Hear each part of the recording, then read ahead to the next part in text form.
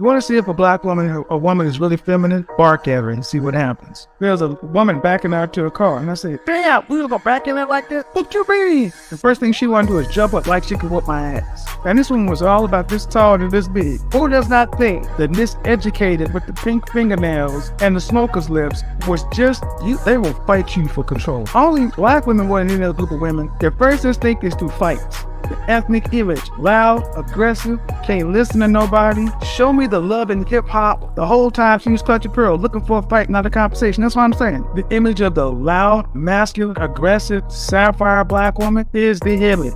It's the image that's been pushed in white media. It's the image that black folks, Atlanta, Miami, New Orleans, blah, blah, show that equivalent for white people, Hispanic people, Asian people. Where are the women who are going to push back against this image?